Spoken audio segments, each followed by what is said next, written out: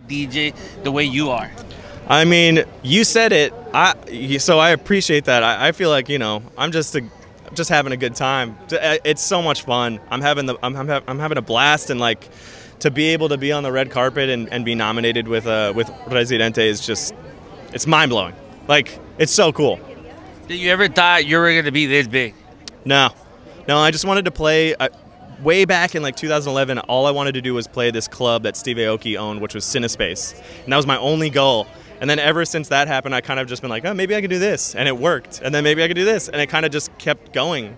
And so, yeah. How- been- who was your biggest inspiration, like uh, inspiration, uh, to get this big? Um, I think Diplo for sure.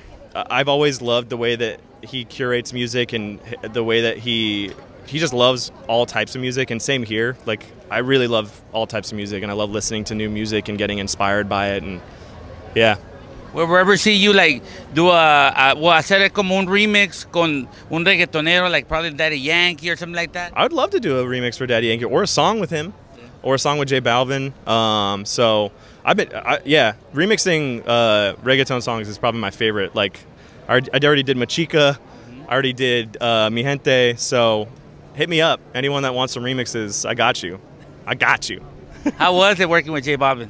I didn't work with him. I wish. Yo, J Balvin hit me up. I worked with Arcángel. Okay. Yeah, yeah, Arcángel. Uh, I worked with Arc, De La Ghetto, Residente, which is funny because they all know each other. So it's the, the the missing link is me working with J Balvin. It's gonna happen. I'm I'm, I'm willing it in, into into uh, into present. It's gonna happen. Any anything you have for for New Year's?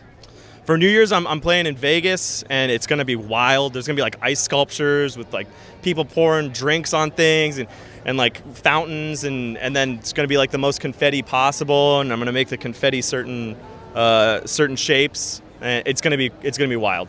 Is always No se te olvide suscribirte al canal y por supuesto compartirlo con tus amigos en tus redes sociales. Y síguenos a través de La Remix TV. No se te olvide compartirlo. Somos La Remix TV.